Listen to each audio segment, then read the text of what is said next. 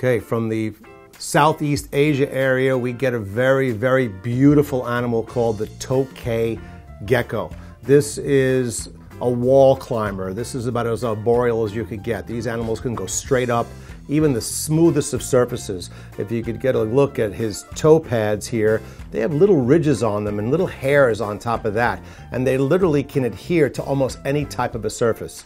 So you'll often see tokay geckos in trees, but around humanity, in, in areas where people live, you'll see tokay geckos everywhere, inside of homes, clinging to the sides of houses. They move right in and make themselves at home, munching on all the bugs in your house if you live in Southeast Asia. A claw on the end uh, finishes the grasping ability, and I, I, can almost feel the, it's almost like a glue texture to the front of his foot. The, the back of the animal is absolutely spectacularly colored, and uh, occasionally uh, a male tokay. They get their names because they make a sound sort of like tokay. It almost sounds like the word tokay when they call at night. Females don't do that, but the males do.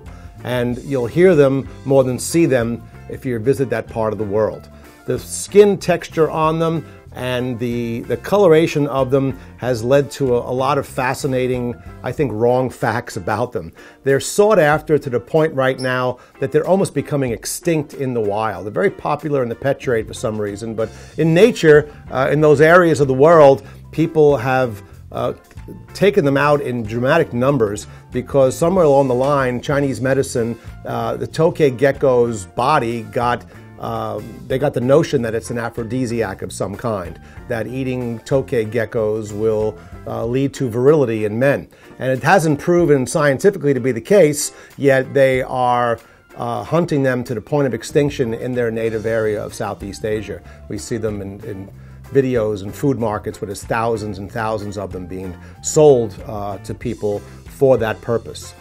So that's a terrible thing for a beautiful animal like this to meet its demise because of a rumor, much like rhinoceros horns do the same thing. Rhinoceroses are getting hunted almost to extinction for that same reason. I think someone's got to introduce these guys to Viagra.